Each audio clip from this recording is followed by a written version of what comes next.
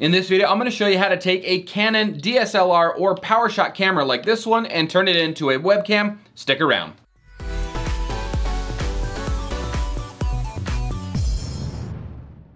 What is going on everybody? Welcome back to another tutorial. So using a DSLR like this or a camera like this as a webcam is gonna yield you much higher video quality if you're trying to do some type of streaming or just wanting to do a web presentation. You can use one of these to get the best possible quality over your standard webcam just because the sensor and the hardware specs of these types of cameras are of course much greater than what's in that webcam. So today we are gonna be demonstrating with the EOS SL2, but again, this does work for the PowerShot Canon cameras as well. And even if you're on a different brand, such as a Panasonic Lumix, which is the camera that I'm currently using to record this, they also have some type of software that will allow you to use it as a webcam. You just may need to check the manufacturer's website to see if they have that available for a download. So with that being said, let's go ahead and just jump right in. So to get started, you're gonna head on over to this website, which is usa.canon.com with a bunch of forward slashes.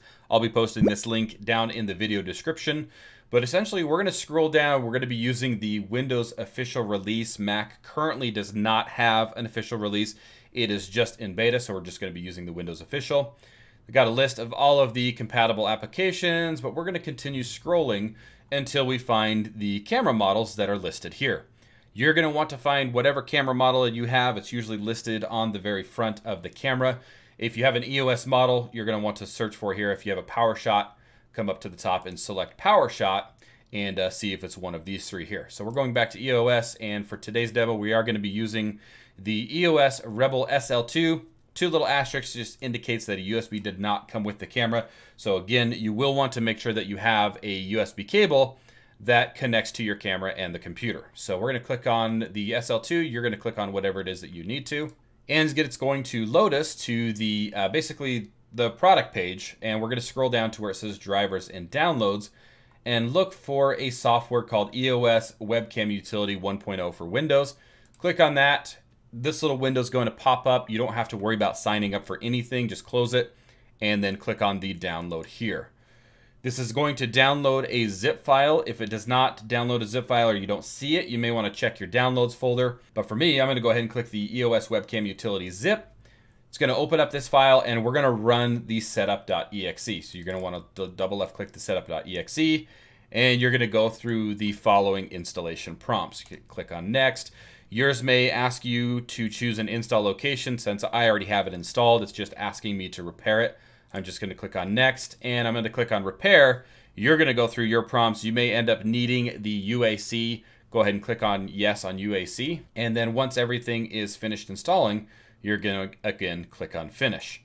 Now, we've installed the webcam utility, so what we're going to do now is we're going to open up whatever program it is that you're going to be setting up with the camera. For today's demo, I'm just going to use Zoom since it seems to be a popular program for any type of like webcasting, so we'll click on Zoom. And up in the top right-hand corner, I'm going to click on Settings, and then I'm going to click on the Video tab. Now, you can see that it's currently going through my HD Pro webcam C920. This is a Logitech webcam, 1080p. I think it's like 30 frames.